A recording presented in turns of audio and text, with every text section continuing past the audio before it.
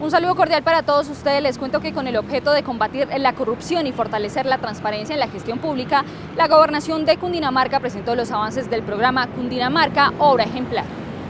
Hemos venido eh, generando todo un sistema, un modelo integrado de transparencia que lo hemos de, denominado Obra Ejemplar. Obra Ejemplar es la sumatoria de muchas cosas.